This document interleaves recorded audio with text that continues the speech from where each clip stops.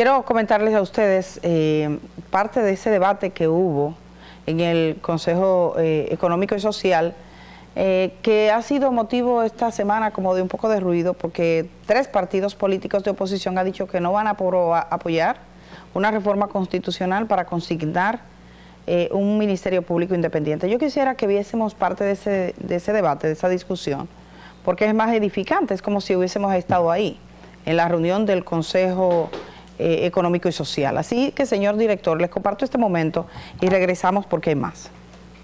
En las modificaciones que se proponen al Ministerio Público, se comienza con un cambio en las denominaciones de sus titulares.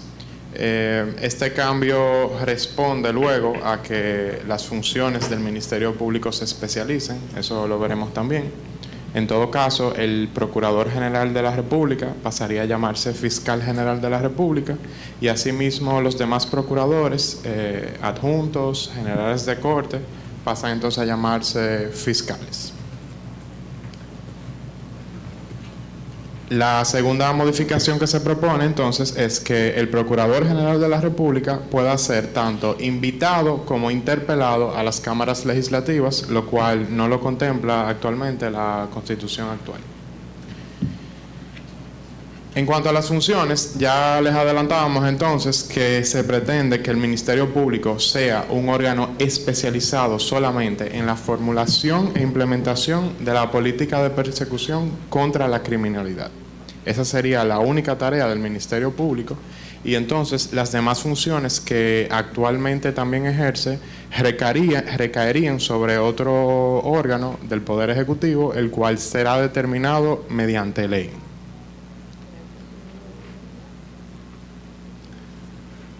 Asimismo, se propone modificar la forma de designación de su titular y se propone específicamente que el procurador y sus adjuntos sean designados por un único periodo de seis años y de conformidad con el procedimiento establecido en la ley. Como ya inicialmente eh, advertía el consultor, se trata de cambiar el actual proceso discrecional unilateral de designación por parte del Poder Ejecutivo.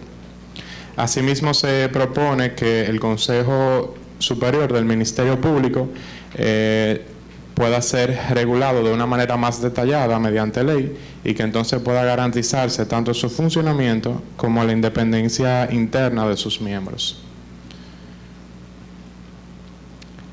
Hay un artículo 181 en la Constitución que vale la pena destacar que actualmente habla de la evaluación de los jueces de la Suprema Corte de Justicia, pero que en la propuesta se cambiaría a la forma de designación del fiscal general de la República y sus adjuntos. Se hace ese intercambio para poder mantener luego la numeración de los artículos en el resto de la Constitución y lo que está ahora contenido en el 181 sobre jueces de la Suprema pasaría luego al 182, lo cual veremos en el caso del Poder Judicial.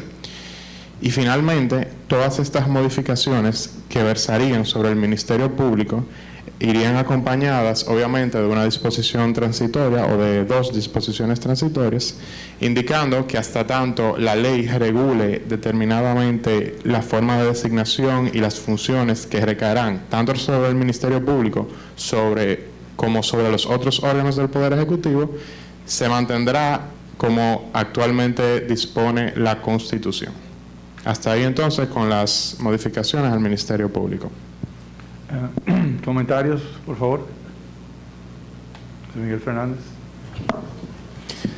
Bien, en este punto nosotros dentro de la propuesta al artículo 171 de la actual Constitución eh, planteamos que la designación del fiscal general, porque cogemos esa figura eh, como buena y válida, sus sustitutos y adjuntos sean designados por el Consejo Nacional de la Magistratura, para el cual también proponemos una ampliación que la veremos en el punto correspondiente de la agenda, y que el periodo de, de designación sea de cinco años eh, y renovable por un único segundo periodo previa, previa evaluación de desempeño.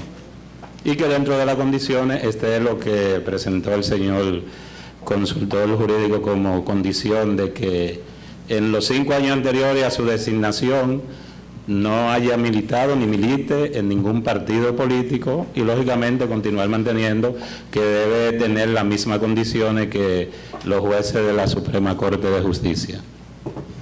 Eh, don Arsenio.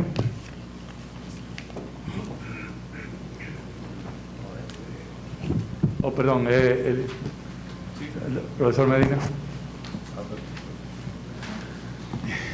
Esta parte sustancial ¿no? en la modificación eh, constitucional, porque lo que se ha planteado aquí sobre la independencia de la justicia, eh, y ustedes saben que el sistema de justicia funciona con dos actores fundamentales, que es el Poder Judicial y el Ministerio Público porque aunque se establece eh, en la ley y en la propia Constitución la independencia funcional, administrativa y presupuestaria del Ministerio Público, en la práctica todo eso se queda relegado en la actualidad a lo que disponga el presidente, tanto en la designación como en la misma asignación eh, presupuestaria, que ustedes saben que la ley eh, establece un 4.10, creo, eh, para el sistema de justicia dividido entre el Poder Judicial y el Ministerio Público.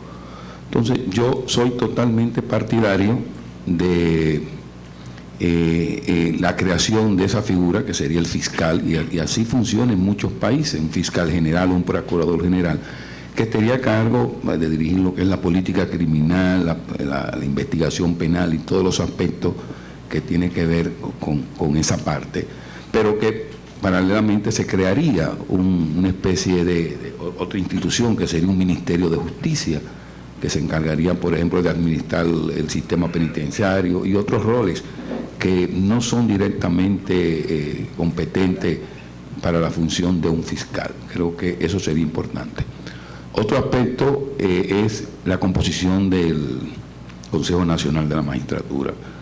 En el proyecto original del Consejo Nacional de la Magistratura estaban contemplados incluso la participación de instituciones académicas, las universidades, con una representación, eh, la sociedad civil y también estaba el Colegio de Abogados, pero ustedes saben que con el Colegio de Abogados siempre se ha planteado determinada situación, o sea, que la exclusión del procurador general eh, es correcta, pero pienso que hay que democratizarlo como órgano para darle participación eh, más eh, a la sociedad.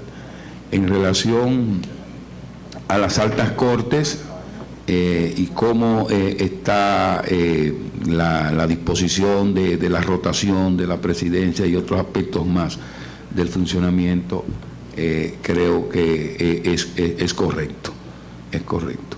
Hay otros detalles más, pero por falta de tiempo, ya más adelante uno irá haciendo las recomendaciones del lugar.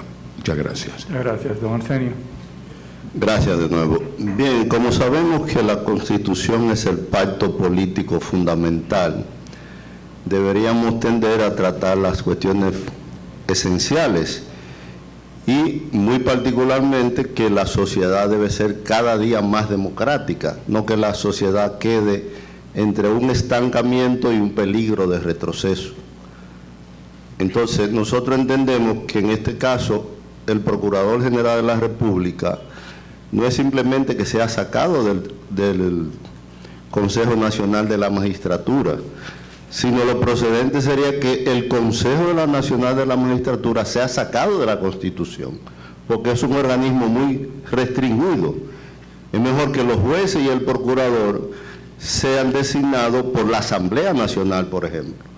En la Constitución anterior eran designados por el Senado de la República.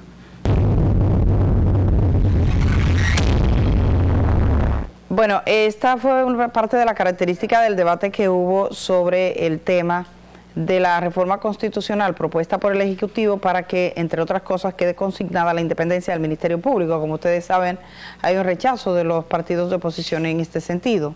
Quise compartir con ustedes este momento y también tengo las palabras que dijo la doctora Milagros Ortiz Vos, porque quizás es hasta poco conocido el debate que está realizando el CIES, que una vez termine el Consejo Económico y Social, se supone que lo que salga de allí es la propuesta que se presentaría en el Congreso Nacional. Vamos a ver a la doctora Ortiz Vos, con ella nos vamos a la pausa y seguiremos con otros aspectos de este importante debate para la República Dominicana, porque tiene que ver cómo maneja este país la independencia del Ministerio Público, la lucha contra la corrupción o la posibilidad de que aquí eh, se elimine de una vez por todas la impunidad eh, en la administración de los bienes públicos pido excusa, pero yo soy la que tengo más edad aquí y he visto tantos procesos, no, no me la quito, es lindo tenerlo, tantos procesos que hay experiencias que he vivido y las quiero compartir con ustedes. Primero, hace muchos años que el presidente, que los presidentes pueden designar una, una, eh, una Procuraduría independiente. ¿Se hizo? ¿No se hizo? ¿Cuáles los resultados? Para mí la matemática en los hechos. ¿Qué tuvo resultado? ¿Qué no tuvo resultado?